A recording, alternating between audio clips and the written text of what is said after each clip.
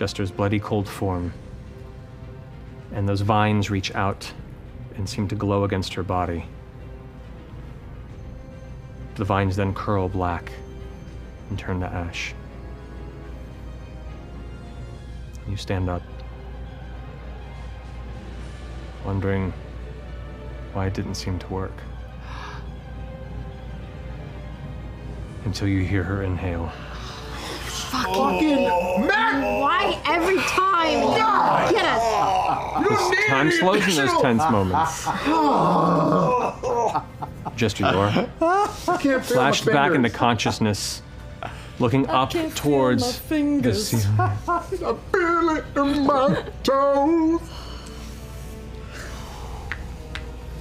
Well played, Matthew Mercer. Well Christmas is all around I have one hit point, I'm assuming. You two. Both you, both clerics.